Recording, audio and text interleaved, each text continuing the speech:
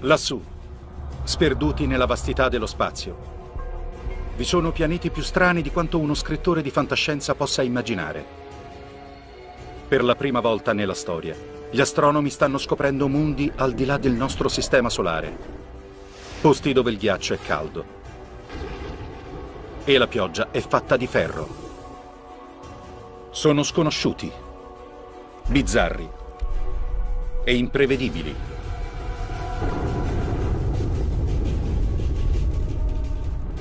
E da qualche parte, nascosta tra questi strani mondi, gli studiosi potrebbero effettuare la più grande scoperta della storia, un pianeta come il nostro, un mondo alieno.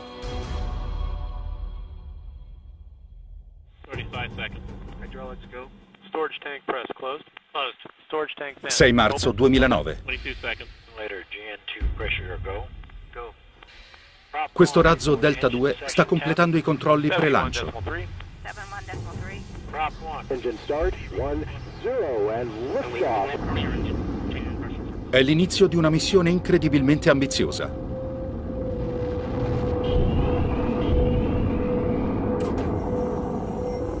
L'osservatorio spaziale Keplero passerà al setaccio 100.000 stelle in cerca di pianeti di tipo terrestre.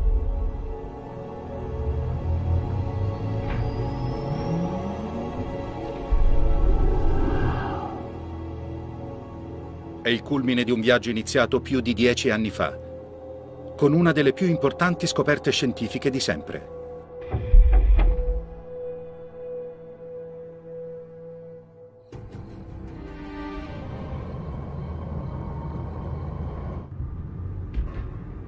Nel 1995 l'astronomo svizzero Michel Mayor e il suo team conducono un'osservazione di routine sulle stelle nella costellazione di Pegaso, a 50 anni luce da noi. Ma gli strumenti mostrano qualcosa di strano. Una stella ondeggia e sbanda violentemente.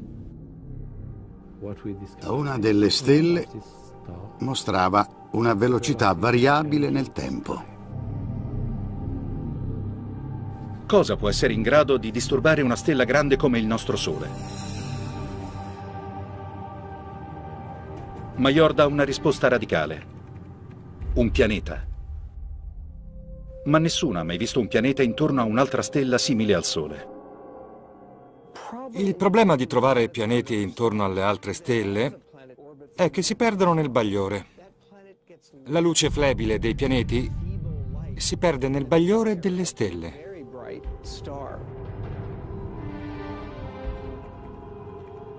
A dispetto delle probabilità, Major si fida dei suoi dati e è convinto che gli sbandamenti siano causati dall'attrazione gravitazionale di un pianeta. Quando lessi della scoperta di Michel Major fui molto scettico. C'erano state molte false scoperte di pianeti extrasolari e quindi pensai, ecco ci risiamo.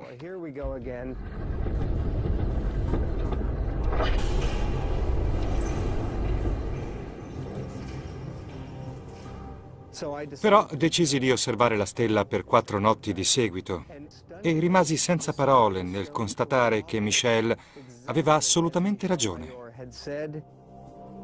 Major e il suo collega Didier Queloz annunciano la scoperta che scuote alle radici il mondo scientifico.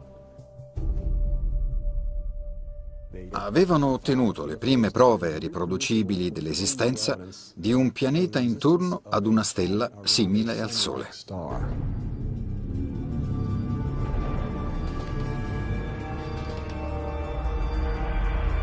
Chiamato ufficialmente 51 Pegasi B, il pianeta viene soprannominato Bellerofonte, come l'eroe greco capace di domare il cavallo alato Pegaso.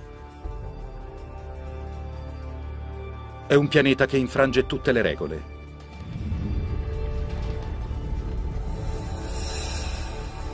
Bellerofonte brucia nella luce della sua stella a temperature di circa 1800 gradi Fahrenheit, quindi quasi 1000 gradi centigradi.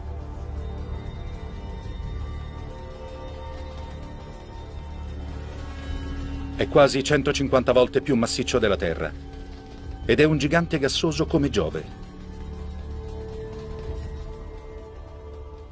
Sono pianeti fatti più che altro di idrogeno ed elio, che negli strati esterni rimangono gas, ma all'interno vengono compressi a pressioni tali da cambiare stato. Si tratta di un pianeta diverso da quelli del nostro sistema solare. È quello che gli astronomi chiamano un Giove caldo. Per farvi un'idea di cosa sia un Giove caldo, pensate ad un flusso di lava incandescente. La Terra si trova a 93 milioni di miglia, o 150 milioni di chilometri, dal suo Sole. I Giovi caldi sono 100 volte più vicini alla stella e assorbono 10.000 volte più luce solare. Mettiamo che questa sia una stella e questo un Giove caldo, che si trova di solito a circa tre diametri stellari. Quindi sarebbe 1, 2, 3. La distanza tra i due sarebbe questa. I Giovi caldi hanno una rotazione sincrona e mostrano alla stella sempre lo stesso lato, come la nostra Luna con la Terra. Su un lato è sempre giorno e sull'altro è sempre notte. Se mi trovassi su un Giove caldo, dovrei rimanere sul lato oscuro, sperando di usufruire di un po' del calore proveniente dall'altra metà.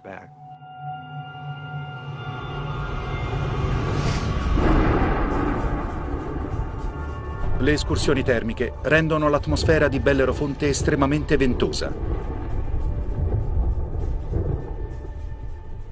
L'aria bruciata dalla stella sale di quota. Aria più fresca soffia rapidamente verso il basso per rimpiazzarla, proprio come sulla Terra. Il risultato è un vento a migliaia di chilometri all'ora, ben al di là di ogni nostra immaginazione. L'estremo irraggiamento non permette l'esistenza di vapore acqueo, ma questo non vuol dire che non vi sia pioggia. È troppo caldo perché si formino nuvole d'acqua, ma non troppo caldo per nuvole di ferro. Il vapore di ferro resiste a temperature molto più elevate rispetto all'acqua. Le piogge, quindi, sarebbero diverse da quelle che conosciamo.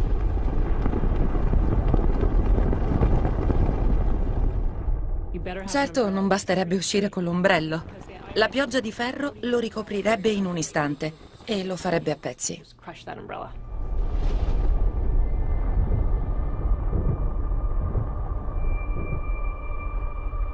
Il cielo di Bellerofonte è interamente occupato da cortine di colore.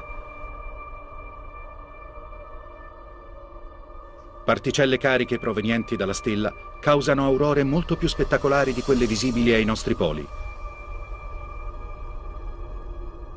Ma questo mondo appena scoperto ha una caratteristica ancora più incredibile. Compie un'orbita completa in poco più di quattro giorni. Nessun pianeta che si rispetti gira intorno al Sole in così poco tempo. Nel nostro sistema solare non abbiamo niente del genere. La brevità dell'orbita rappresenta una sfida alle ipotesi consolidate sulla formazione dei pianeti. Il fatto che il pianeta concludesse un'orbita in quattro giorni era un enigma, finché una notte mi venne un'illuminazione. Poteva essere la prova che i pianeti possono migrare verso l'interno dell'orbita. La risposta emerge proprio dal meccanismo di formazione dei pianeti.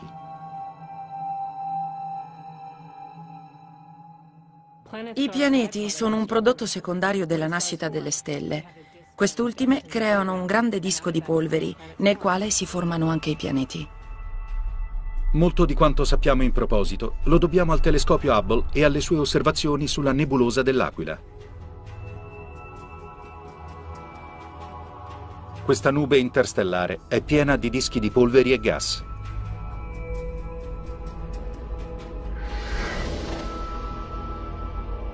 Al centro di ogni disco si forma un gigantesco grumo di polveri. Le temperature raggiungono i 10 milioni di gradi centigradi e si producono gli stessi fenomeni di fusione nucleare che tengono in vita il nostro Sole.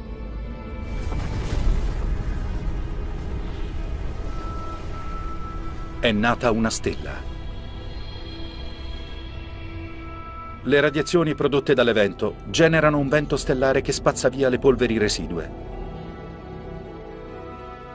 ma piccole quantità di detriti sopravvivono e rimangono in orbita intorno alla stella neonata.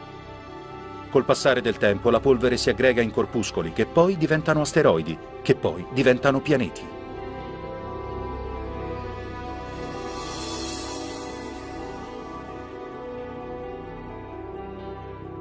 I nuovi pianeti migrano all'interno del disco fino a trovare un'orbita stabile.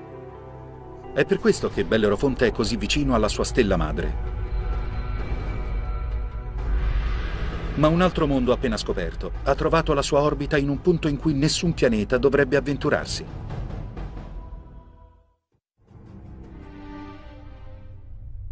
«2001.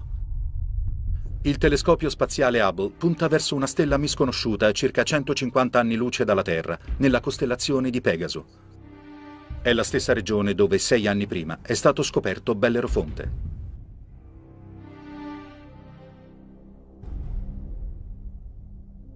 Hubble sta seguendo un nuovo Giove caldo scoperto dall'astronomo Geoff Marcy.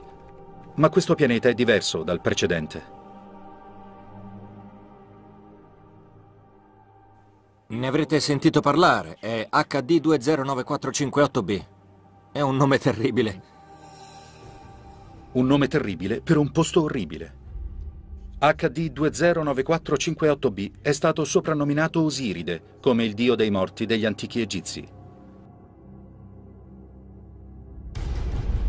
Osiride è ben 200 volte più massiccio della Terra e si è avvicinato pericolosamente al suo Sole.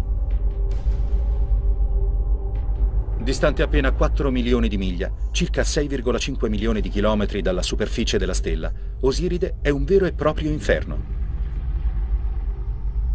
La temperatura media giornaliera è di più di 1000 gradi centigradi. Più che un riscaldamento globale, questa è una frittura globale che fa sì che Osiride perda 500.000 tonnellate d'aria ogni secondo. C'è una perdita, un flusso costante di idrogeno ed elio che crea una grande nube intorno al pianeta. È una sorta di immensa emorragia. Gli scienziati ipotizzano la presenza di una colossale scia di gas che segue il pianeta per migliaia di chilometri.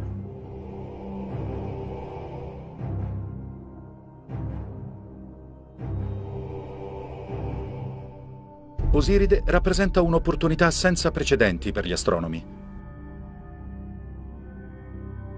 Usando Hubble, analizzano la turbolenta atmosfera del pianeta. Per la prima volta possiamo conoscere la composizione dell'atmosfera di un pianeta extrasolare.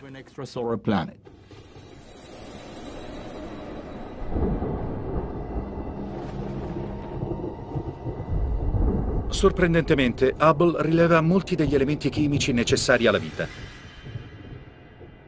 Sodio, carbonio, idrogeno e ossigeno. Ma Osiride è troppo caldo per la vita come la conosciamo noi. In realtà esistono organismi che vivono ad alte temperature. Ma i giovi caldi non hanno una superficie solida quindi la vita si ridurrebbe a microbi galleggianti nell'atmosfera. Sulla Terra ne abbiamo vari esempi, che però si sono trasferiti nell'atmosfera in un secondo tempo, il che esclude che Osiride possa ospitare la vita. Gli astronomi hanno individuato molti Giovi caldi dopo la scoperta di Bellerofonte nel 95. Ma le condizioni di questi mondi rende impossibile lo sviluppo della vita.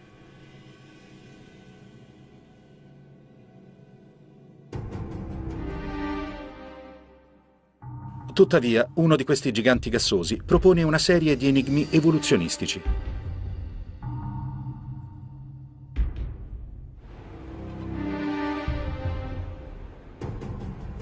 Geoff Marcy ha scoperto l'incredibile comportamento di un pianeta orbitante intorno a una stella chiamata 16 Cygnus B, a circa 70 anni luce da noi, nella costellazione del Cigno.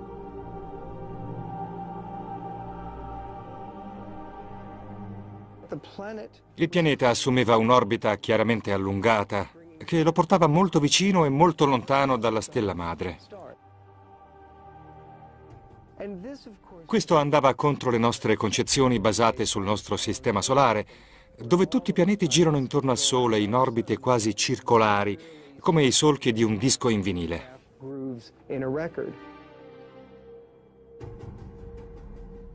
Come un enorme yo-yo spaziale, il pianeta gigante oscilla avanti e indietro nel suo sistema solare. È come se la Terra si avvicinasse al Sole di 25 milioni di miglia, più di 40 milioni di chilometri, per poi essere catapultata oltre Marte e verso Giove ogni anno.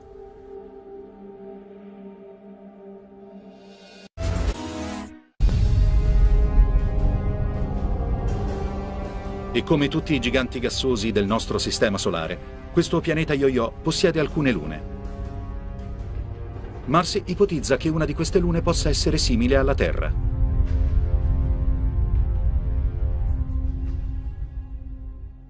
È qui che la storia si fa interessante.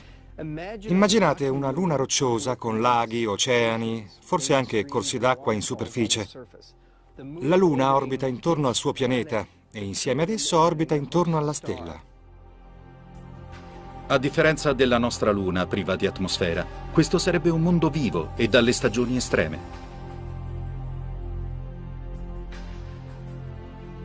Sulla Terra le stagioni sono causate dalla sua inclinazione.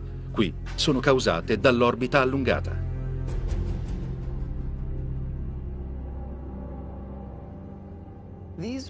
Un pianeta con orbita così allungata non può non subire tremende variazioni stagionali nel corso dell'anno. Mentre si avvicinano al punto più prossimo alla stella, il pianeta e la Luna vengono completamente bruciati è l'inizio dell'estate. L'atmosfera sulla Luna è spazzata da tempeste devastanti. I nostri uragani di categoria 5 sono sbuffi di vento in confronto ai mostruosi vortici che si formano qui.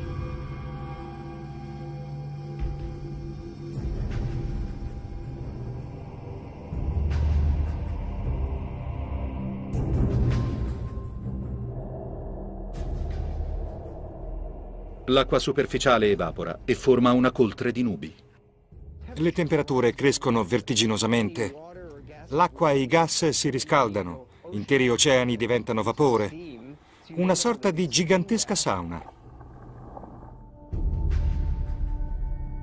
Al culmine dell'estate, la Luna presenta temperature superiori ai 400 gradi centigradi.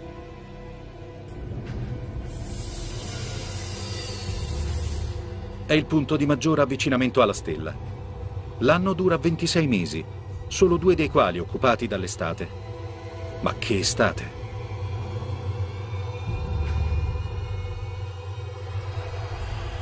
Poi il pianeta e la sua luna si allontanano dalla zona calda. Le temperature calano fino a livelli che noi troveremmo confortevoli.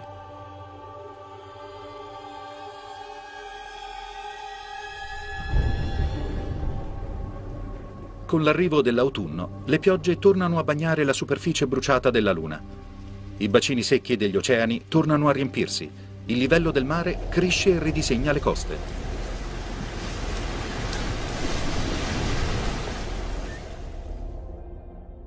Le condizioni tornano tranquille, mentre il pianeta e la Luna scendono nel gelo profondo dell'inverno.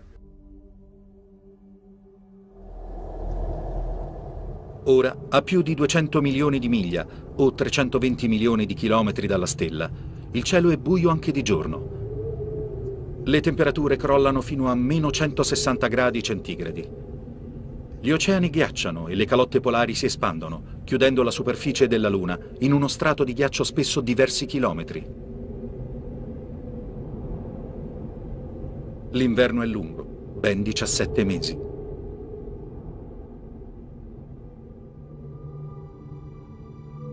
Ma con l'arrivo della primavera, la stella torna a splendere nel cielo, spezzando e sciogliendo violentemente la coltre di ghiaccio. Grandi iceberg crollano in un oceano tempestoso e in rapida crescita.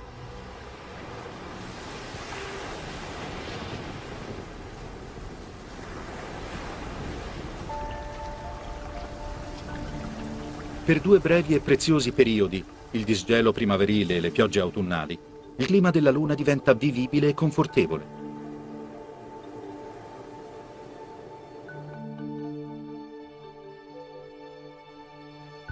a circa 93 milioni di miglia o 150 milioni di chilometri dalla stella, una distanza simile a quella tra noi e il Sole. L'orbita ellittica del pianeta e della sua luna attraversa un'area che gli scienziati chiamano zona abitabile. Le condizioni qui sono perfette per la vita.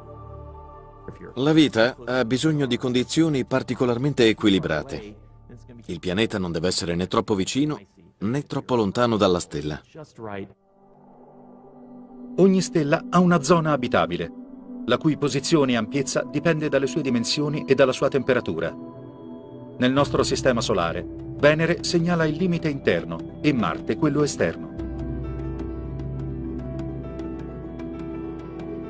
La Terra e tutte le sue forme di vita si trovano esattamente nel mezzo. Osiride passa nella zona abitabile due volte all'anno.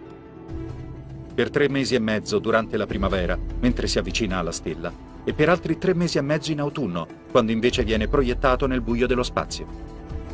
La vita potrebbe sopravvivere al di fuori della zona abitabile.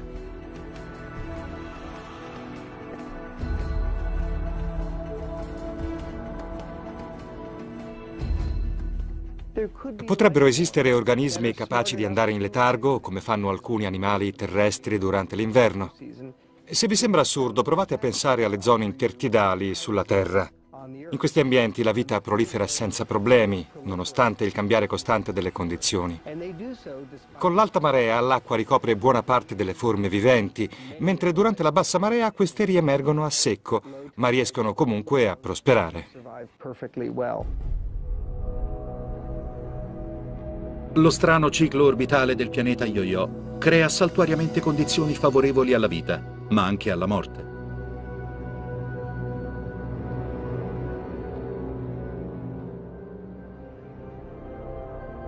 Altri mondi alieni sono ancora più bizzarri. Immaginate un pianeta che non ha una stella intorno alla quale orbitare. Gli studiosi ipotizzano che la nostra galassia sia piena di pianeti dispersi, alla deriva sulle rotte più oscure dello spazio interstellare. Sono mondi orfani, pianeti esclusi dai loro sistemi solari dal caos della migrazione planetaria. Gli astronomi li chiamano planimo. Un planimo è un pianeta senza stella che viaggia alla deriva nella galassia. Quale forza sarebbe capace di scacciare un pianeta da un sistema solare? Quando una stella si forma con un contingente di pianeti orbitanti, e questi interagiscono tra loro, spinti dalle rispettive forze gravitazionali, e per effetto di queste interazioni qualcuno può anche essere lanciato all'esterno. Qualunque pianeta che venga scacciato da un sistema solare per una collisione o una fionda gravitazionale esce rapidamente dalla zona abitabile.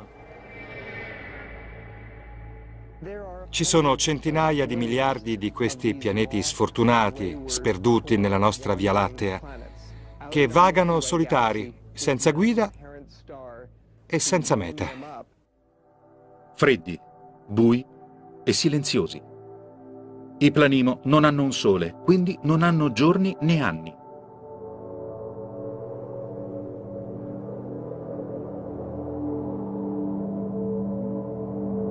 Rimangono bloccati all'interno di una notte eterna. Sono raminghi solitari, sentinelle della galassia.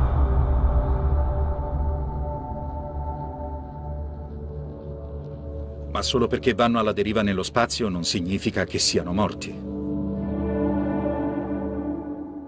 Se il planimo è di natura rocciosa, potrebbe essere abitato. Un piccolo planimo roccioso privo di atmosfera piomberebbe nel freddo più estremo, molto più freddo del più freddo giorno d'inverno al nostro polo sud.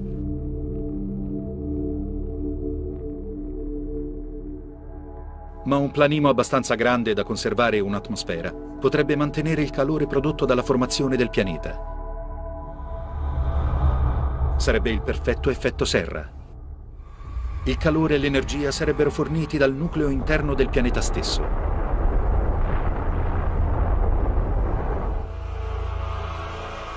Se il planimo fosse invece un gigante gassoso simile a Giove, potrebbe avere un sistema di lune. L'attrazione gravitazionale tra il pianeta e le lune creerebbe frizione che causerebbe il riscaldamento dei nuclei delle lune. Potrebbero essere geologicamente attive, come Io, una delle lune di Giove, la cui energia è generata dall'interazione con Giove stesso e le altre lune. Questo mondo non potrebbe essere abitato da forme di vita complesse, ma al massimo da organismi unicellulari simili ai nostri batteri. Non potendo eseguire la fotosintesi per la mancanza di una stella, questi organismi deriverebbero la loro energia dalle sostanze presenti nel terreno.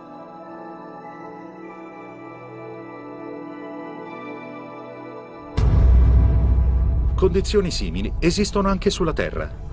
Colonie di batteri sopravvivono infatti nel profondo di pozzi minerari in Sudafrica.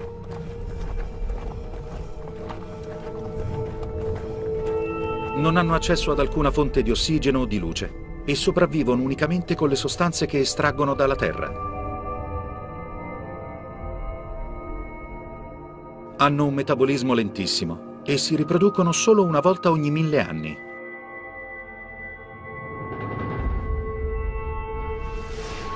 Un organismo simile si potrebbe originare nel primo periodo di vita del planimo, per poi sopravvivere durante il suo esilio.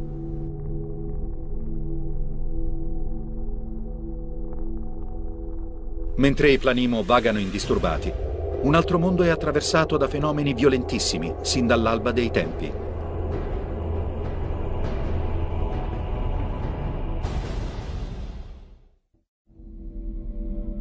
«2003. Gli astronomi confermano l'esistenza di un remoto relitto nella costellazione dello Scorpione. Quasi tutti i pianeti extrasolari sono localizzati nel disco principale della nostra galassia.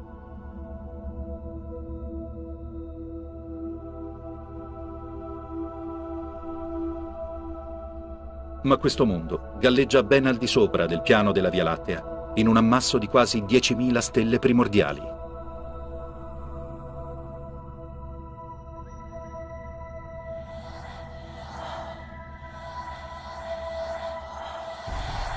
Il pianeta B162026 è meglio conosciuto col suo soprannome di pianeta Matusalemme, in onore dell'uomo più vecchio citato nella Bibbia. È stato soprannominato Matusalemme perché appartiene ad un ammasso stellare vecchio di 12 miliardi di anni. La nostra Terra è una specie di adolescente se confrontata a Matusalemme. Circa 8 miliardi prima della formazione della Terra, Matusalemme è un giovane gigante gassoso, forse sconvolto da venti terribili e accompagnato da numerose lune.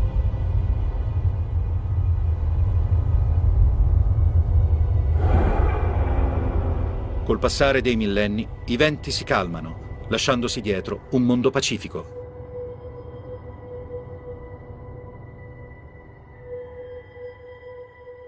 Improvvisamente due stelle sorgono nel cielo. Sono stelle di neutroni, nuclei collassati di astri morti da tempo. Nell'ambiente affollato di un ammasso globulare si verificano collisioni o eventi che causano l'allontanamento di una stella o la formazione di sistemi binari. In una danza gravitazionale simile alla migrazione dei pianeti, una delle stelle di neutroni viene espulsa e sostituita dalla stella madre di Matusalemme.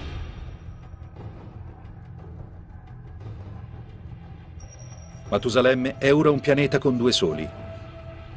Ogni giorno ha due albe e due tramonti. Le nuvole e tutti gli altri oggetti proiettano due ombre. Col tempo la stella madre inizia ad espandersi, un segno che indica la sua morte imminente. Si gonfia fino a diventare una gigante rossa e inizia a perdere materia verso la stella di neutroni che finisce poi col divorarla.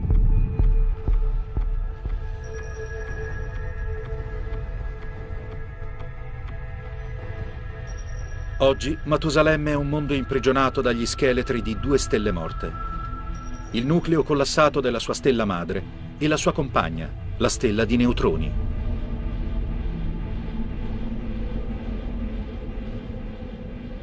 Matusalemme è un sopravvissuto. Ma non è niente in confronto alle bizzarre anomalie di una pulsar a 980 anni luce dalla Terra, nella costellazione della Vergine.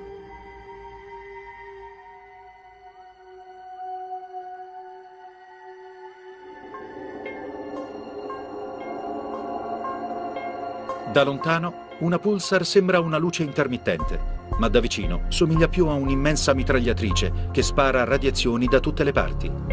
Non sono compagni ideali di un pianeta, eppure qualcosa interferisce con la precisione di questa pulsar. Una spiegazione è che l'anomalia sia causata da un pianeta. Ma molti astronomi sono scettici sulla possibilità che un pianeta possa orbitare intorno a una pulsar.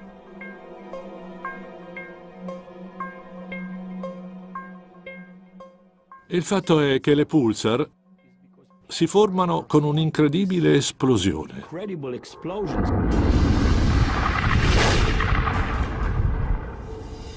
Quando una gigante rossa esplode, l'evento devastante detto supernova rilascia in un minuto un'energia pari a quella prodotta dal nostro Sole in tutta la sua vita. Quando si verifica una supernova, viene prodotta un'onda d'urto che travolge ogni cosa vicina. Una volta diradatasi la polvere, tutto ciò che rimane è il cuore collassato della gigante rossa, che pulsa al centro di un campo di detriti in espansione.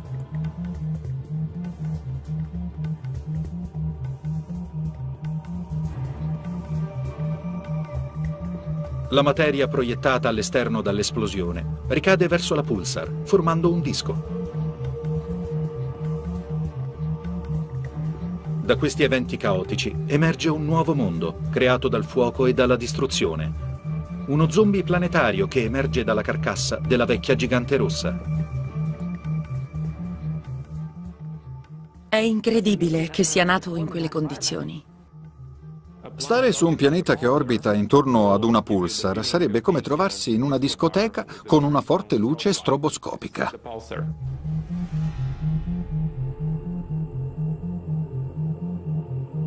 Le radiazioni prodotte da questo mostro stellare distruggono le molecole necessarie alla vita. La pulsar produce un campo magnetico fortissimo che si porta dietro nel suo moto di rapida rotazione e che raccoglie altro materiale, elettroni e protoni che vengono poi scagliati all'esterno ad alta velocità, come in un vento solare potenziato. Non posso immaginare una possibilità neanche per la più semplice delle forme di vita su un pianeta orbitante intorno a una pulsar. Se si trovasse esposta alle radiazioni ne verrebbe distrutta e se si proteggesse non avrebbe alcuna fonte di energia. L'ipotesi dei pianeti pulsar mostra come un mondo possa nascere anche dalla distruzione di una stella. Ma ovunque si verifichi, la formazione di un pianeta è sempre un processo pericoloso.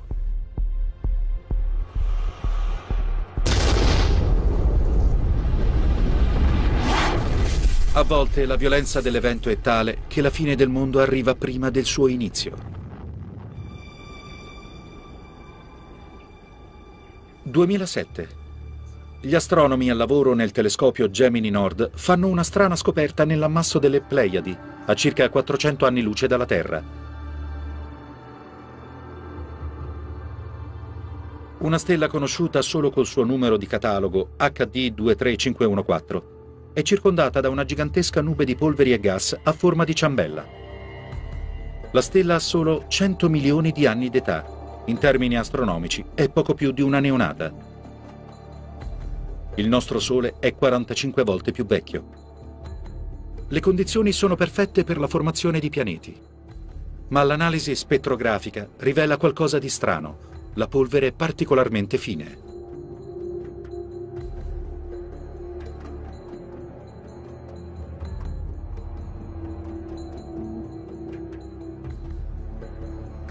Tipicamente, una stella neonata è circondata da pianeti in formazione.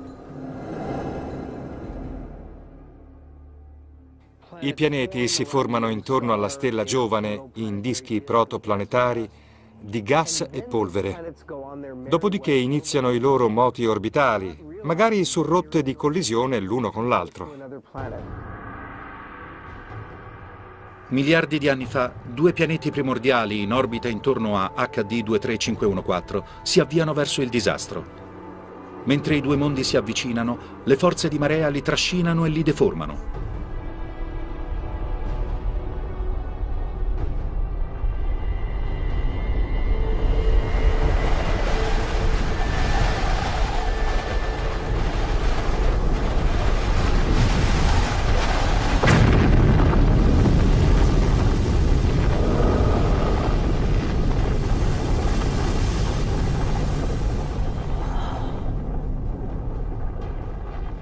I due pianeti vengono annientati, creando la nube di polvere intorno alla stella HD 23514.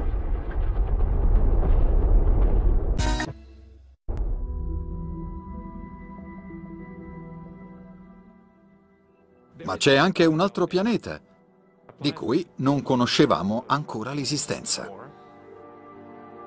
Non è semplicemente un pianeta, è un nuovo tipo di pianeta, una superterra. Mi piace il termine superterra. Sono pianeti simili al nostro, ma più grandi, fino a dieci volte più grandi. Un sottogruppo potrebbe avere continenti e oceani, altri potrebbero essere completamente aridi, come Marte. Un'altra famiglia, infine, sarebbe composta dai cosiddetti pianeti oceanici, completamente ricoperti d'acqua. Benvenuti su Gliese 581C.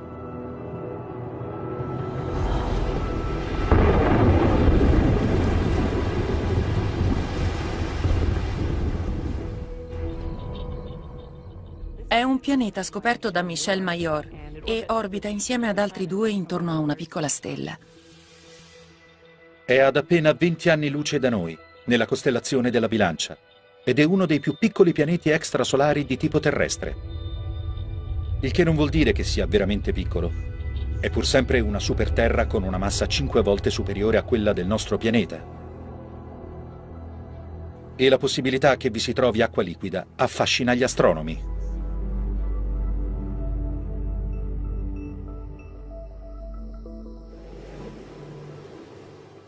Stare su un pianeta oceanico sarebbe come trovarsi in mezzo al Pacifico, senza il minimo segno di terra emersa. Il cielo sarebbe azzurro, con qualche nuvoletta. I venti di un pianeta oceanico sarebbero simili a quelli della Terra. Quindi sarebbe un bel posto per andare in barca a vela. Il tempo sarebbe davvero perfetto. Ogni giorno un cielo azzurro con il sole sempre fermo nello stesso punto. Niente male, vero? Nessuna terra in vista. Neanche ben al di sotto della superficie. In presenza di simili quantità d'acqua, sul fondo dell'oceano vi sarebbero pressioni enormi, superiori a un milione di atmosfere, che comprimerebbero l'acqua circostante in uno stato diverso da quello liquido, che chiamiamo ghiaccio 7.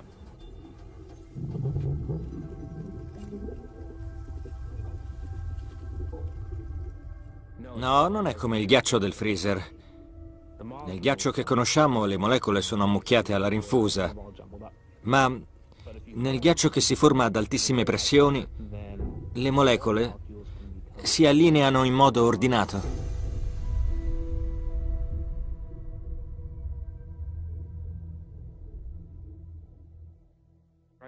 Questo cristallo può darvi l'idea di cosa sia il ghiaccio 7. È alite, meglio conosciuta come salgemma. Il ghiaccio 7 potrebbe esistere anche nel nostro sistema solare. Europa, una delle lune di Giove, è ricoperta da una crosta di ghiaccio che nasconde forse un mantello di acqua liquida. La pressione della crosta è tale da permettere, in teoria, la formazione del ghiaccio 7 sul fondo di questo oceano. Se potessimo espandere Europa e trasportarlo fuori dal Sistema Solare, avremmo un mondo simile a Gliese 581c.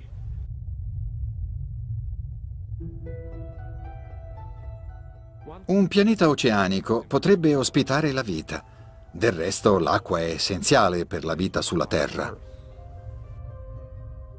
Sulla Terra, ovunque vi sia acqua, c'è vita. Non è possibile trovare una goccia d'acqua sterile in natura.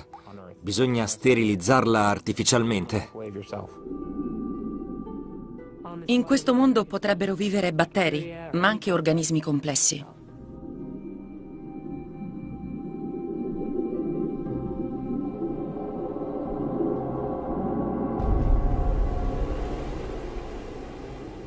Ma non tutte le superterre sono mondi adatti alla vita. Quando parliamo di superterre, parliamo soprattutto di due gruppi, pianeti rocciosi con un po' d'acqua e pianeti interamente ricoperti d'acqua. Ma bisogna aggiungere anche un terzo gruppo di pianeti, probabilmente molto rari, chiamati pianeti di carbonio. Un pianeta di carbonio è diverso da qualsiasi cosa abbiate mai visto. Un posto con una chimica diversa dalla nostra, ma pieno di tesori alquanto terrestri.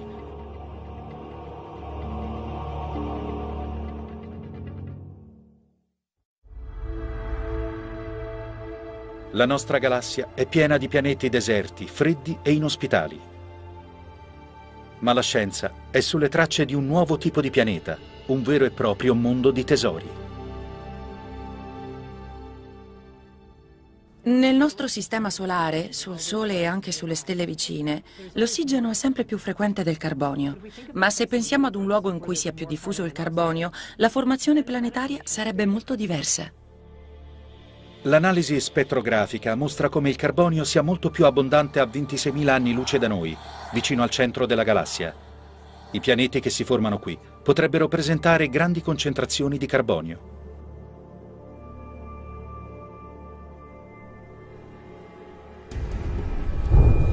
Il cielo mattutino su un mondo simile sarebbe tutt'altro che azzurro. Mi immagino una nebbia gialla con nuvole di fuliggine nera e scendendo nell'atmosfera potremmo vedere laghi fatti di composti del carbonio, come il metano, e pozze ribollenti e maleodoranti piene di melma nera, simili a pozzi di petrolio.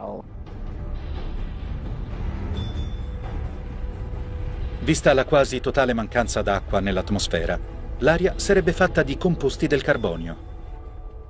Metano, butano, pentano, benzene. Tutti i vari composti del carbonio che si ottengono nella raffinazione della benzina. Un giorno potrebbe piovere benzene e il giorno dopo potrebbe piovere butano. Per quanto alieno possa sembrare un posto del genere, la sua aria potrebbe esserci familiare. L'aria di un pianeta molto ricco di benzene ricorderebbe quella di Los Angeles, piena di particelle simili a quelle prodotte dalle auto che respiriamo tutti i giorni. Nonostante tutto, questi pianeti potrebbero avere anche caratteristiche attraenti.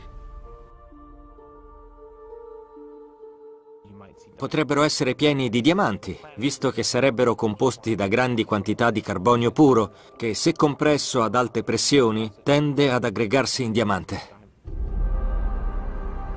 In tutta la galassia vi sono mondi segreti come questi, pronti per essere scoperti. Ma gli astronomi non saranno soddisfatti finché non troveranno il Sacro Graal, un pianeta come il nostro, un mondo pieno di vita, un'altra terra.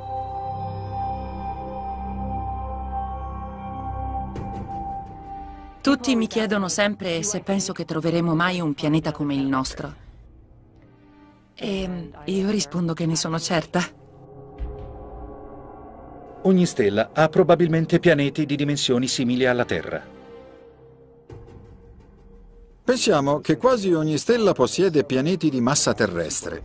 Quindi, se ci sono 200 miliardi di stelle nella galassia, vuol dire che ci sono almeno 400 miliardi di pianeti. 400 miliardi di terre. L'osservatorio spaziale Keplero è il primo strumento capace di trovare uno di questi mondi. Keplero studia la costellazione del Cigno, una regione con ben 100.000 stelle. Fa una foto dietro l'altra, un minuto dopo l'altro, e il suo obiettivo è semplice, trovare stelle la cui luce si affievolisce. Quando una stella si affievolisce leggermente, vuol dire che un pianeta le sta passando davanti, bloccando parte della sua luce. La durata della diminuzione e la quantità di luce bloccata riveleranno agli astronomi le dimensioni del pianeta e la sua distanza dalla stella.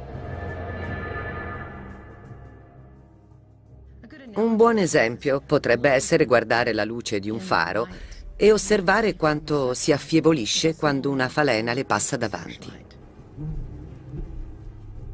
Come immaginate, è una diminuzione appena avvertibile. È una tecnica molto potente perché permette di scoprire la presenza di pianeti anche più piccoli della Terra intorno a stelle simili al Sole. È una tecnica che sta cambiando il corso della scienza. Pensiamo di trovare un pianeta abitabile nel giro di pochi anni. Gli scienziati stimano che la missione Keplero scopra un minimo di 50 terre aliene. Una delle domande che assilla tutti noi che cerchiamo vita extraterrestre è e se scoprissimo la vita senza riconoscerla come tale? Le condizioni ambientali dei mondi alieni potrebbero far evolvere la vita in modo diverso. La mia speranza è di vedere qualche segno che ci faccia rimanere a bocca aperta. Qualunque sarà il segno, rappresenterà il primo capitolo della più grande storia scientifica mai raccontata.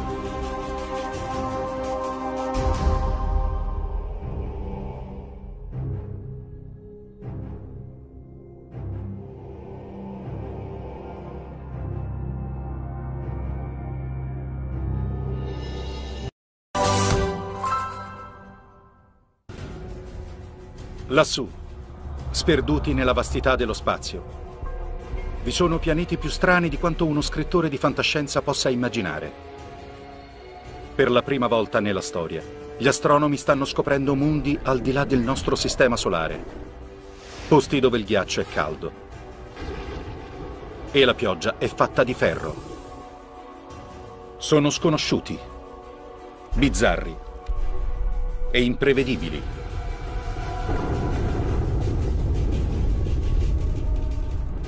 E da qualche parte, nascosta tra questi strani mondi, gli studiosi potrebbero effettuare la più grande scoperta della storia.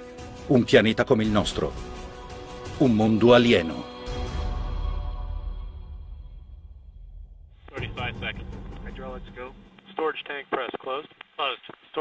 6 marzo 2009.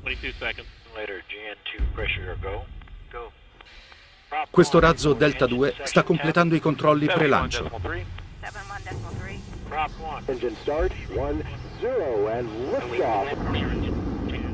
È l'inizio di una missione incredibilmente ambiziosa.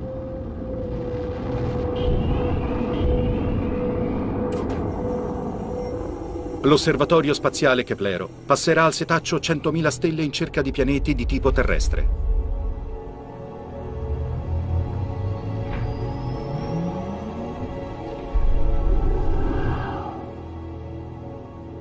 È il culmine di un viaggio iniziato più di dieci anni fa, con una delle più importanti scoperte scientifiche di sempre.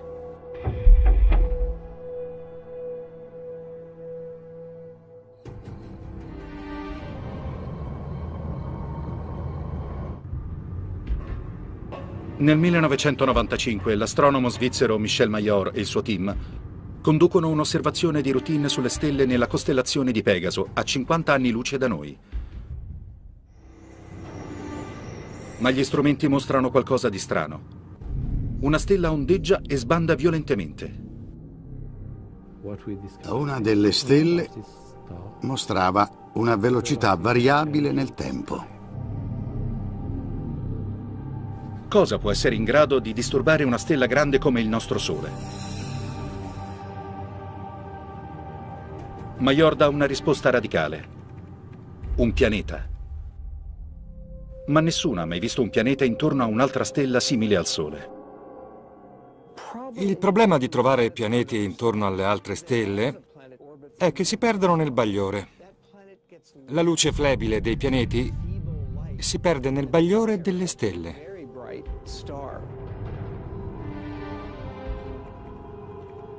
A dispetto delle probabilità, Major si fida dei suoi dati e è convinto che gli sbandamenti siano causati dall'attrazione gravitazionale di un pianeta.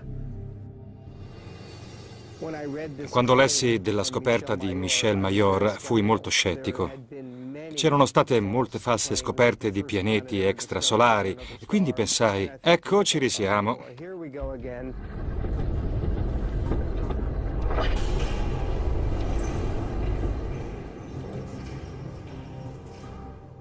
Però decisi di osservare la stella per quattro notti di seguito e rimasi senza parole nel constatare che Michel aveva assolutamente ragione. Major e il suo collega Didier Queloz annunciano la scoperta che scuote alle radici il mondo scientifico. Avevano ottenuto le prime prove riproducibili dell'esistenza di un pianeta intorno ad una stella simile al Sole.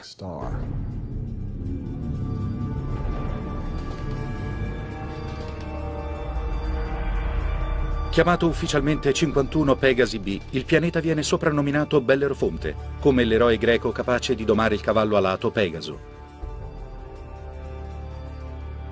È un pianeta che infrange tutte le regole.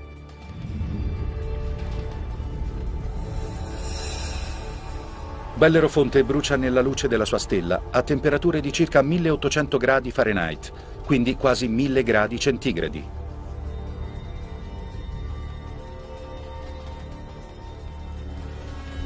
È quasi 150 volte più massiccio della Terra ed è un gigante gassoso come Giove.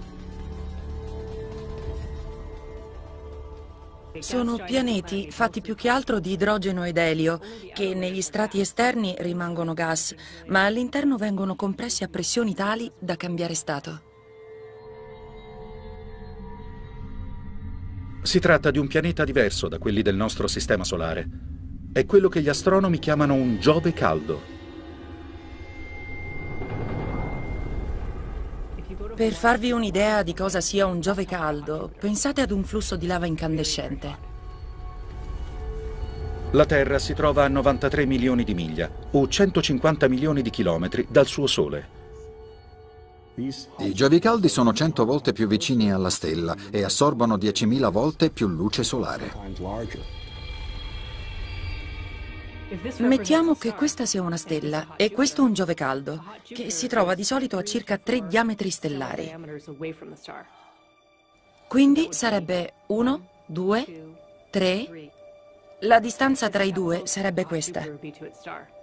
I Giovi caldi hanno una rotazione sincrona e mostrano alla stella sempre lo stesso lato, come la nostra Luna con la Terra. Su un lato è sempre giorno e sull'altro è sempre notte. Se mi trovassi su un Giove caldo, dovrei rimanere sul lato oscuro, sperando di usufruire di un po' del calore proveniente dall'altra metà.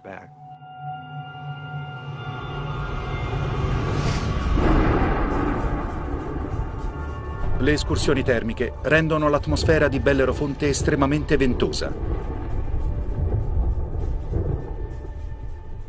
L'aria bruciata dalla stella sale di quota.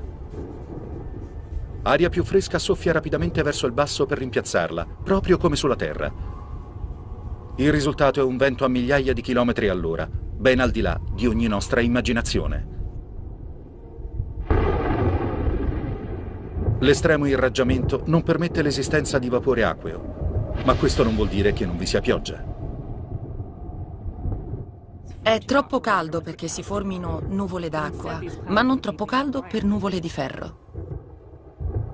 Il vapore di ferro resiste a temperature molto più elevate rispetto all'acqua.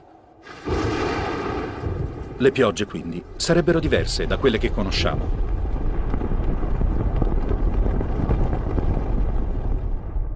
Certo, non basterebbe uscire con l'ombrello. La pioggia di ferro lo ricoprirebbe in un istante e lo farebbe a pezzi.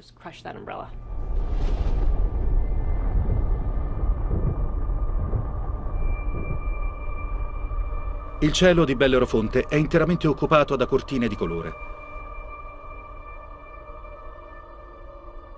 Particelle cariche provenienti dalla stella causano aurore molto più spettacolari di quelle visibili ai nostri poli. Ma questo mondo appena scoperto ha una caratteristica ancora più incredibile. Compie un'orbita completa in poco più di quattro giorni. Nessun pianeta che si rispetti gira intorno al Sole in così poco tempo. Nel nostro sistema solare non abbiamo niente del genere. La brevità dell'orbita rappresenta una sfida alle ipotesi consolidate sulla formazione dei pianeti. Il fatto che il pianeta concludesse un'orbita in quattro giorni era un enigma, finché una notte mi venne un'illuminazione. Poteva essere la prova che i pianeti possono migrare verso l'interno dell'orbita. La risposta emerge proprio dal meccanismo di formazione dei pianeti.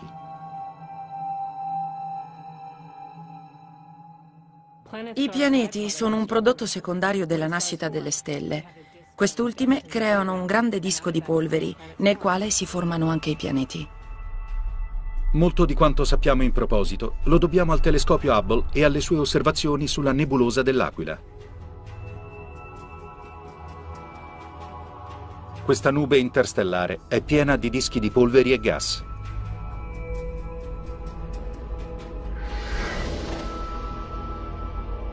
Al centro di ogni disco si forma un gigantesco grumo di polveri.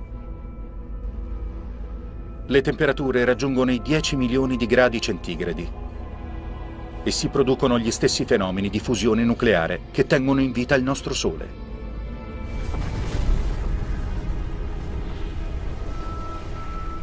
È nata una stella. Le radiazioni prodotte dall'evento generano un vento stellare che spazza via le polveri residue ma piccole quantità di detriti sopravvivono e rimangono in orbita intorno alla stella neonata. Col passare del tempo la polvere si aggrega in corpuscoli che poi diventano asteroidi, che poi diventano pianeti.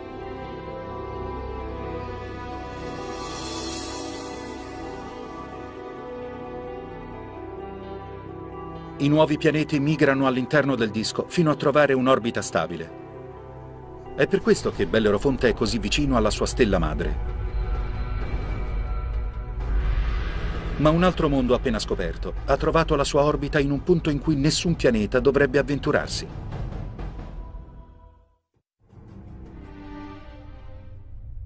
«2001. Il telescopio spaziale Hubble punta verso una stella misconosciuta a circa 150 anni luce dalla Terra, nella costellazione di Pegaso. È la stessa regione dove sei anni prima è stato scoperto Bellerofonte.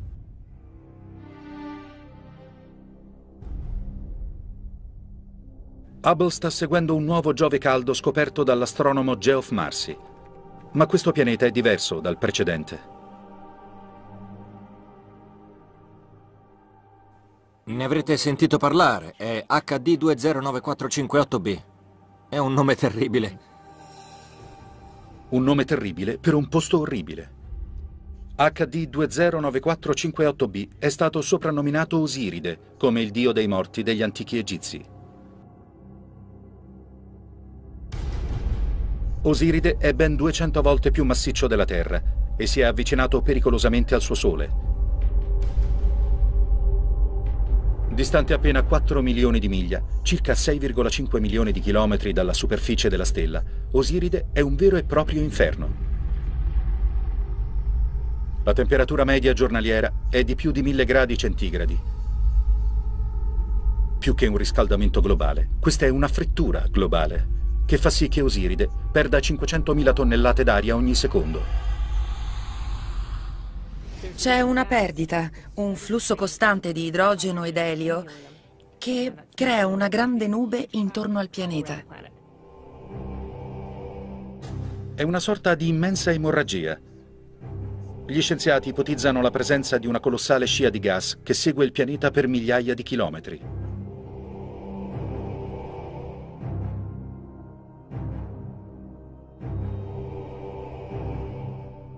Osiride rappresenta un'opportunità senza precedenti per gli astronomi. Usando Hubble, analizzano la turbolenta atmosfera del pianeta.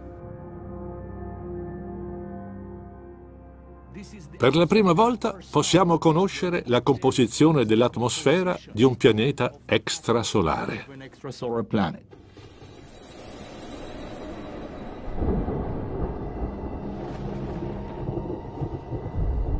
Sorprendentemente, Hubble rileva molti degli elementi chimici necessari alla vita. Sodio, carbonio, idrogeno e ossigeno. Ma Osiride è troppo caldo per la vita come la conosciamo noi. In realtà esistono organismi che vivono ad alte temperature. Ma i Giovi caldi non hanno una superficie solida, quindi la vita si ridurrebbe a microbi galleggianti nell'atmosfera. Sulla Terra ne abbiamo vari esempi, che però si sono trasferiti nell'atmosfera in un secondo tempo, il che esclude che Osiride possa ospitare la vita. Gli astronomi hanno individuato molti Giovi caldi dopo la scoperta di Bellerofonte nel 95. Ma le condizioni di questi mondi rende impossibile lo sviluppo della vita.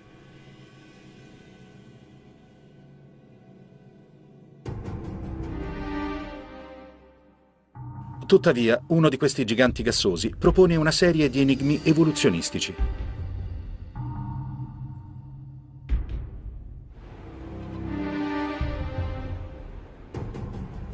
Geoff Marcy ha scoperto l'incredibile comportamento di un pianeta orbitante intorno a una stella chiamata 16 Cygnus B, a circa 70 anni luce da noi, nella costellazione del Cigno.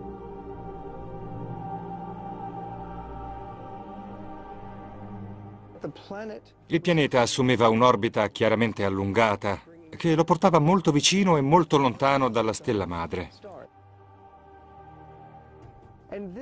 Questo andava contro le nostre concezioni basate sul nostro sistema solare, dove tutti i pianeti girano intorno al Sole in orbite quasi circolari, come i solchi di un disco in vinile.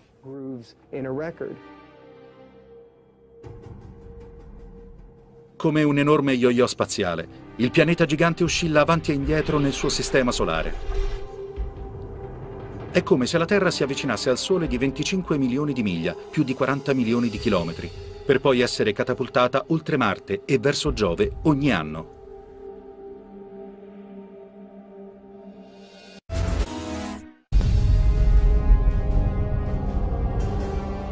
E come tutti i giganti gassosi del nostro sistema solare, questo pianeta yo-yo possiede alcune lune. Mars ipotizza che una di queste lune possa essere simile alla Terra.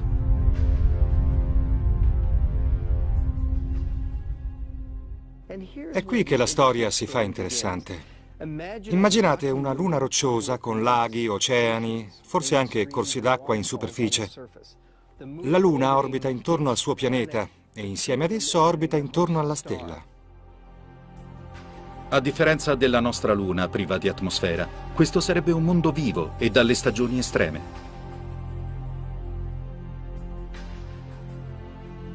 Sulla Terra le stagioni sono causate dalla sua inclinazione. Qui sono causate dall'orbita allungata.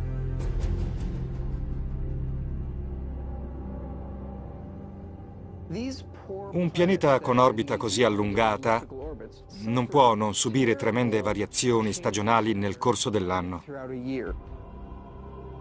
Mentre si avvicinano al punto più prossimo alla stella, il pianeta e la Luna vengono completamente bruciati. È l'inizio dell'estate. L'atmosfera sulla Luna è spazzata da tempeste devastanti. I nostri uragani di categoria 5 sono sbuffi di vento in confronto ai mostruosi vortici che si formano qui.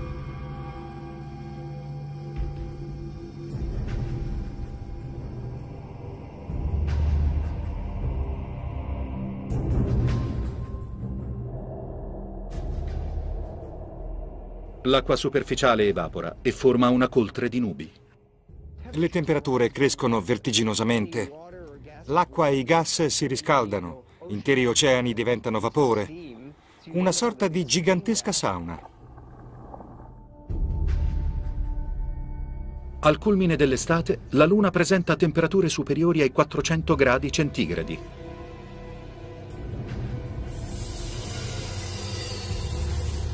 È il punto di maggior avvicinamento alla stella. L'anno dura 26 mesi, solo due dei quali occupati dall'estate. Ma che estate!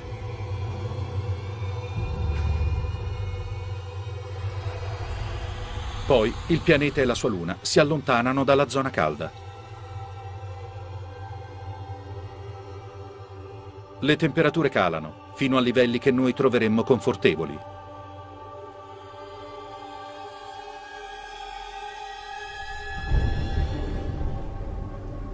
Con l'arrivo dell'autunno, le piogge tornano a bagnare la superficie bruciata della Luna. I bacini secchi degli oceani tornano a riempirsi. Il livello del mare cresce e ridisegna le coste.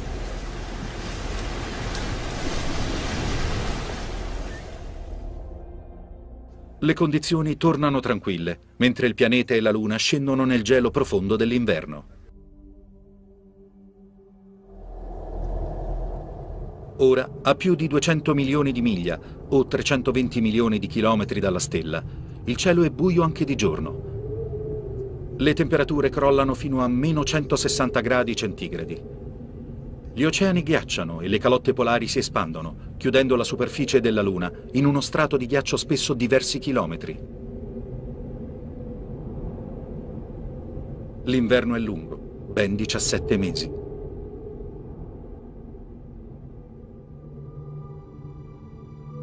Ma con l'arrivo della primavera, la stella torna a splendere nel cielo, spezzando e sciogliendo violentemente la coltre di ghiaccio.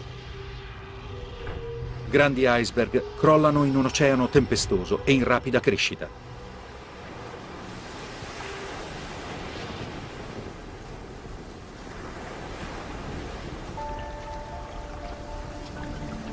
Per due brevi e preziosi periodi, il disgelo primaverile e le piogge autunnali, il clima della Luna diventa vivibile e confortevole.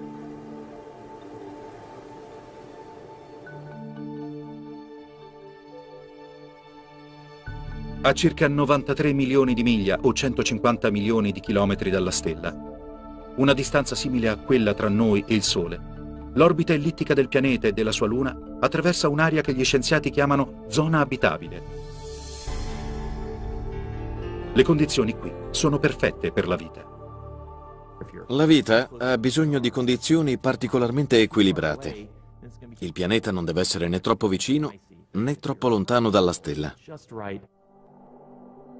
Ogni stella ha una zona abitabile, la cui posizione e ampiezza dipende dalle sue dimensioni e dalla sua temperatura. Nel nostro sistema solare, Venere segnala il limite interno e Marte quello esterno. La Terra e tutte le sue forme di vita si trovano esattamente nel mezzo. Osiride passa nella zona abitabile due volte all'anno per tre mesi e mezzo durante la primavera, mentre si avvicina alla stella, e per altri tre mesi e mezzo in autunno, quando invece viene proiettato nel buio dello spazio. La vita potrebbe sopravvivere al di fuori della zona abitabile.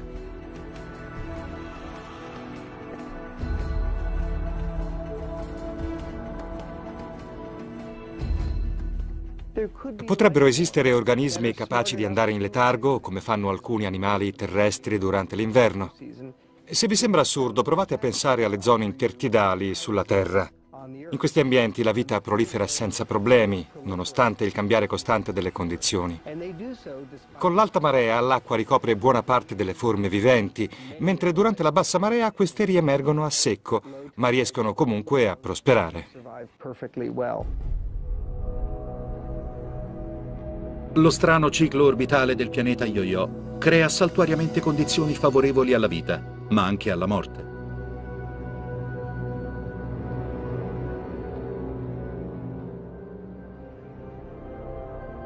Altri mondi alieni sono ancora più bizzarri.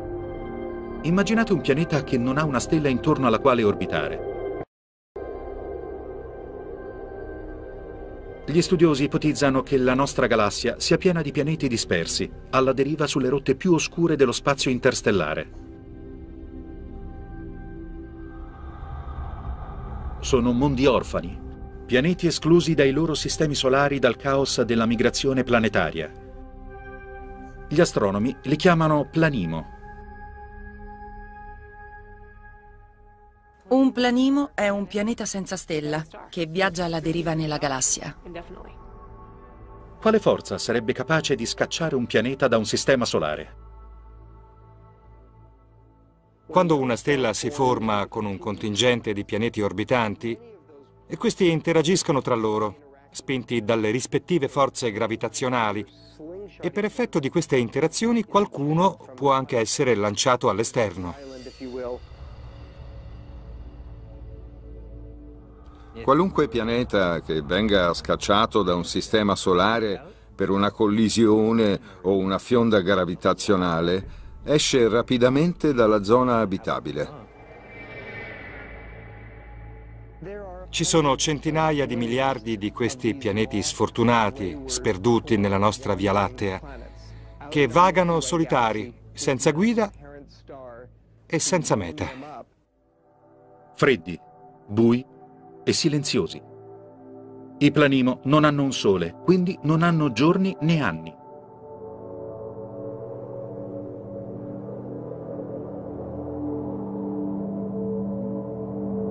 Rimangono bloccati all'interno di una notte eterna. Sono raminghi solitari, sentinelle della galassia.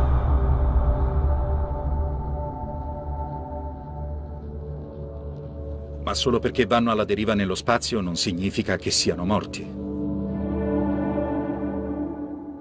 Se il planimo è di natura rocciosa, potrebbe essere abitato.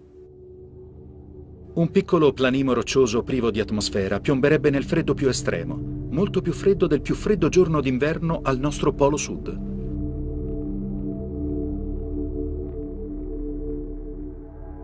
Ma un planimo abbastanza grande da conservare un'atmosfera potrebbe mantenere il calore prodotto dalla formazione del pianeta. Sarebbe il perfetto effetto serra. Il calore e l'energia sarebbero forniti dal nucleo interno del pianeta stesso.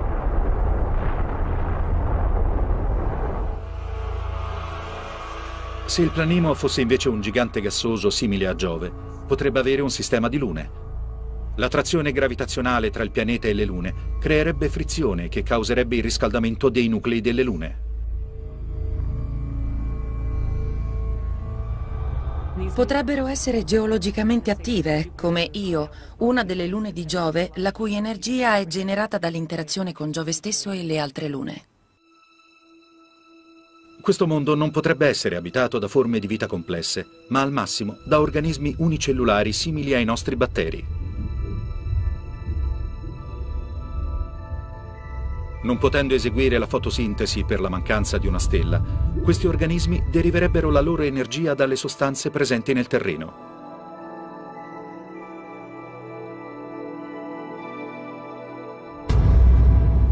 Condizioni simili esistono anche sulla Terra. Colonie di batteri sopravvivono infatti nel profondo di pozzi minerari in Sudafrica.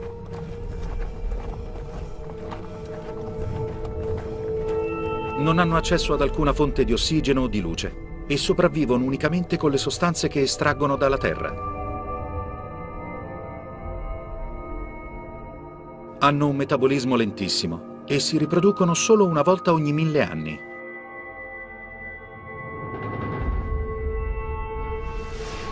Un organismo simile si potrebbe originare nel primo periodo di vita del planimo, per poi sopravvivere durante il suo esilio.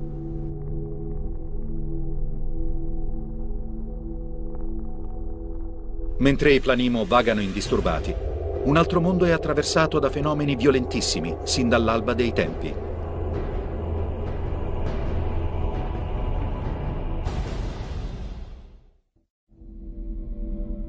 «2003. Gli astronomi confermano l'esistenza di un remoto relitto nella costellazione dello Scorpione. Quasi tutti i pianeti extrasolari sono localizzati nel disco principale della nostra galassia.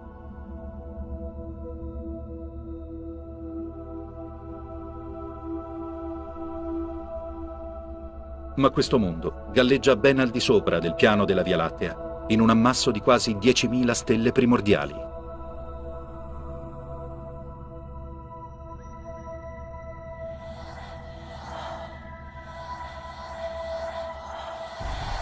Il pianeta B162026 è meglio conosciuto col suo soprannome di pianeta Matusalemme, in onore dell'uomo più vecchio citato nella Bibbia. È stato soprannominato Matusalemme perché appartiene ad un ammasso stellare vecchio di 12 miliardi di anni. La nostra Terra è una specie di adolescente se confrontata a Matusalemme. Circa 8 miliardi prima della formazione della Terra, Matusalemme è un giovane gigante gassoso, forse sconvolto da venti terribili e accompagnato da numerose lune.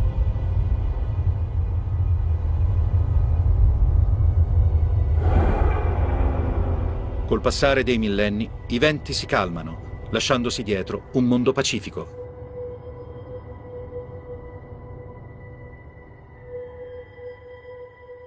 Improvvisamente due stelle sorgono nel cielo. Sono stelle di neutroni, nuclei collassati di astri morti da tempo. Nell'ambiente affollato di un ammasso globulare si verificano collisioni o eventi che causano l'allontanamento di una stella o la formazione di sistemi binari. In una danza gravitazionale simile alla migrazione dei pianeti, una delle stelle di neutroni viene espulsa e sostituita dalla stella madre di Matusalemme.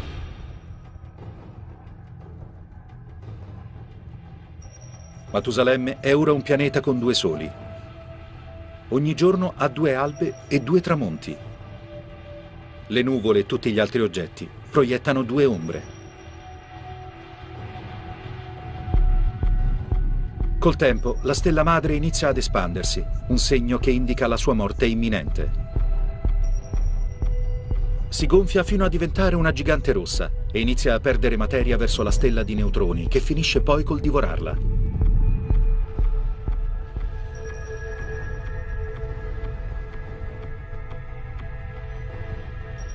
Oggi Matusalemme è un mondo imprigionato dagli scheletri di due stelle morte il nucleo collassato della sua stella madre e la sua compagna, la stella di neutroni.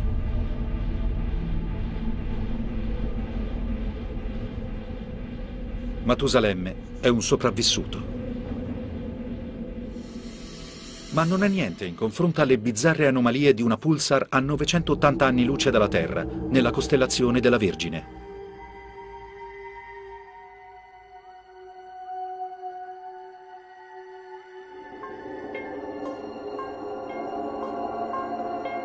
Da lontano una pulsar sembra una luce intermittente, ma da vicino somiglia più a un'immensa mitragliatrice che spara radiazioni da tutte le parti.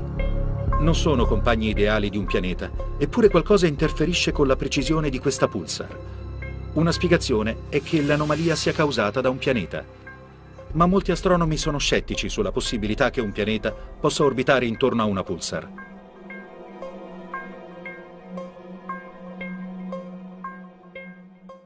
Il fatto è che le pulsar si formano con un'incredibile esplosione.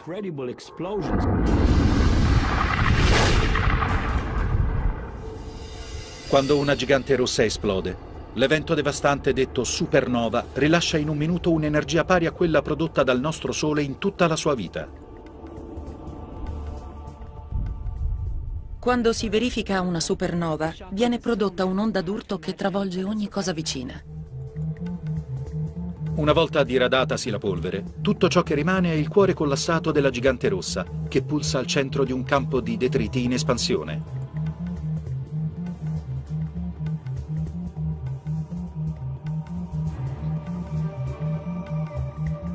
La materia proiettata all'esterno dall'esplosione ricade verso la pulsar, formando un disco. Da questi eventi caotici emerge un nuovo mondo, creato dal fuoco e dalla distruzione. Uno zombie planetario che emerge dalla carcassa della vecchia gigante rossa. È incredibile che sia nato in quelle condizioni. Stare su un pianeta che orbita intorno ad una pulsar sarebbe come trovarsi in una discoteca con una forte luce stroboscopica.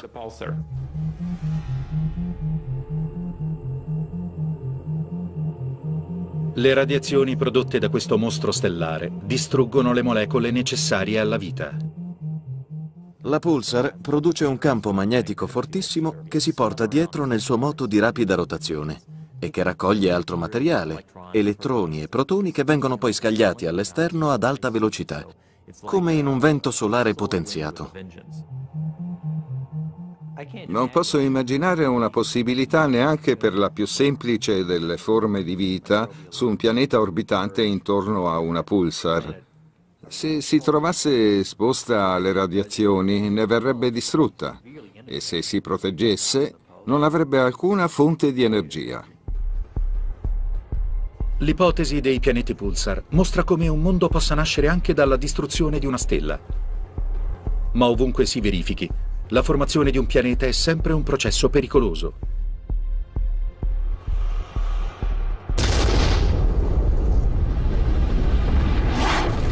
A volte la violenza dell'evento è tale che la fine del mondo arriva prima del suo inizio. 2007. Gli astronomi al lavoro nel telescopio Gemini Nord fanno una strana scoperta nell'ammasso delle Pleiadi, a circa 400 anni luce dalla Terra. Una stella conosciuta solo col suo numero di catalogo HD 23514 è circondata da una gigantesca nube di polveri e gas a forma di ciambella. La stella ha solo 100 milioni di anni d'età. In termini astronomici è poco più di una neonata. Il nostro Sole è 45 volte più vecchio. Le condizioni sono perfette per la formazione di pianeti. Ma l'analisi spettrografica rivela qualcosa di strano. La polvere è particolarmente fine.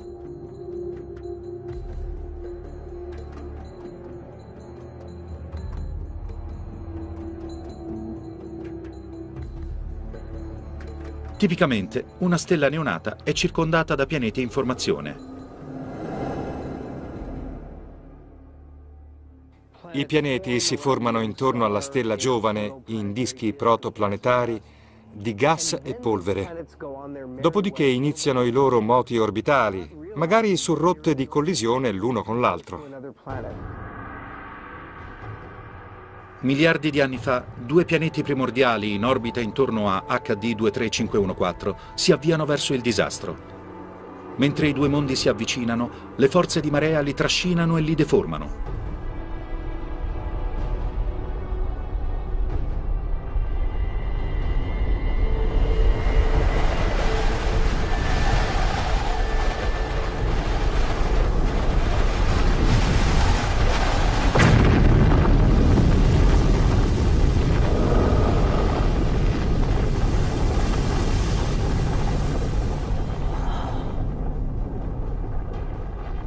I due pianeti vengono annientati, creando la nube di polvere intorno alla stella HD 23514.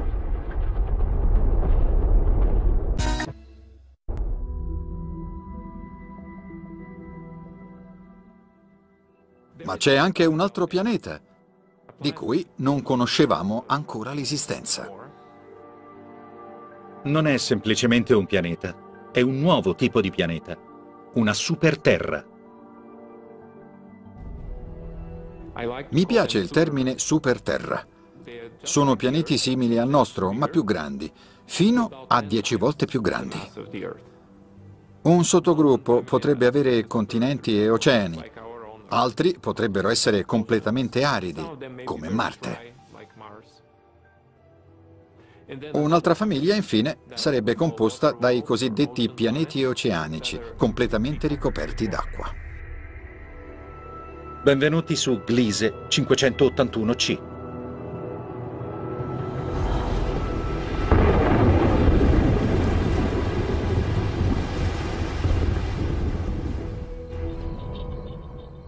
È un pianeta scoperto da Michel Mayor e orbita insieme ad altri due intorno a una piccola stella. È ad appena 20 anni luce da noi, nella costellazione della Bilancia. Ed è uno dei più piccoli pianeti extrasolari di tipo terrestre.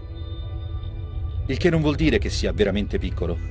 È pur sempre una superterra con una massa 5 volte superiore a quella del nostro pianeta.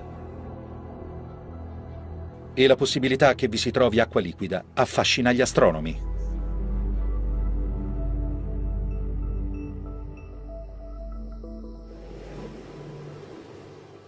Stare su un pianeta oceanico sarebbe come trovarsi in mezzo al Pacifico, senza il minimo segno di terra emersa. Il cielo sarebbe azzurro, con qualche nuvoletta. I venti di un pianeta oceanico sarebbero simili a quelli della Terra. Quindi sarebbe un bel posto per andare in barca a vela. Il tempo sarebbe davvero perfetto. Ogni giorno un cielo azzurro con il sole sempre fermo nello stesso punto. Niente male, vero? Nessuna terra in vista. Neanche ben al di sotto della superficie. In presenza di simili quantità d'acqua, sul fondo dell'oceano vi sarebbero pressioni enormi, superiori a un milione di atmosfere, che comprimerebbero l'acqua circostante in uno stato diverso da quello liquido, che chiamiamo ghiaccio 7.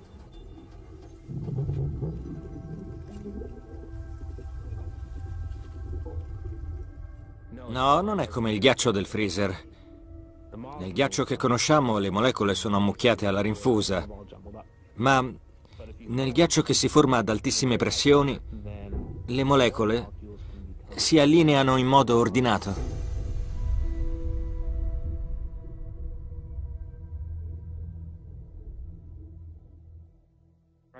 Questo cristallo può darvi l'idea di cosa sia il ghiaccio 7. È alite, meglio conosciuta come salgemma.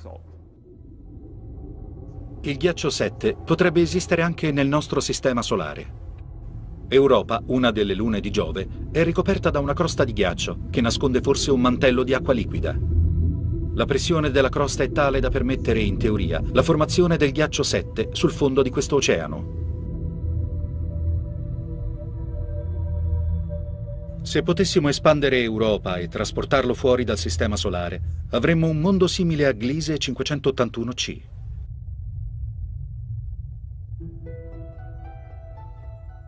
Un pianeta oceanico potrebbe ospitare la vita. Del resto l'acqua è essenziale per la vita sulla Terra. Sulla Terra, ovunque vi sia acqua, c'è vita. Non è possibile trovare una goccia d'acqua sterile in natura. Bisogna sterilizzarla artificialmente. In questo mondo potrebbero vivere batteri, ma anche organismi complessi.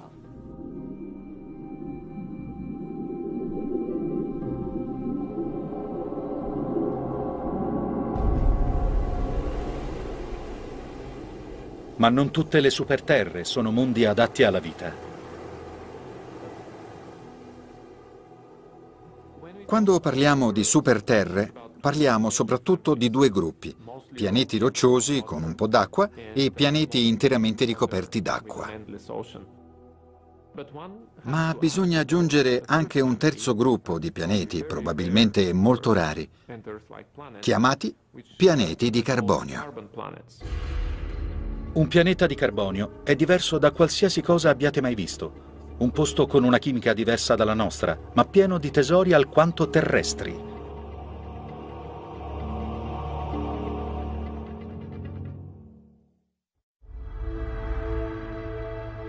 La nostra galassia è piena di pianeti deserti, freddi e inospitali.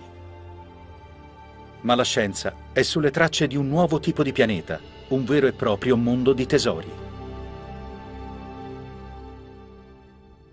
Nel nostro sistema solare, sul Sole e anche sulle stelle vicine, l'ossigeno è sempre più frequente del carbonio.